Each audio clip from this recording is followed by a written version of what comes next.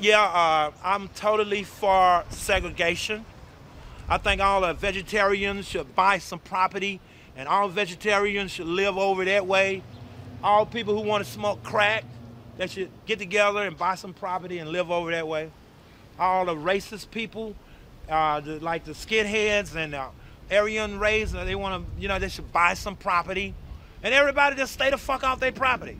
Like we skinheads, I'm not going over there. Uh, we vegetarians.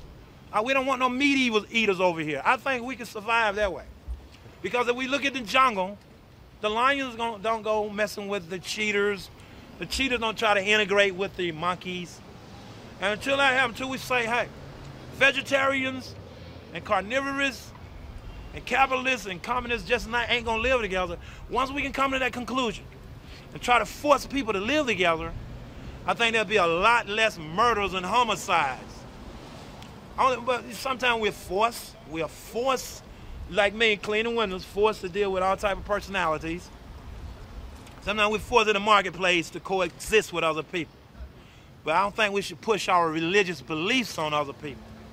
Nonetheless, I mean, it's, it's a real hard question because you got the kids, just like the buffalo in Africa, trying to cross the lake, and you got a big alligator there.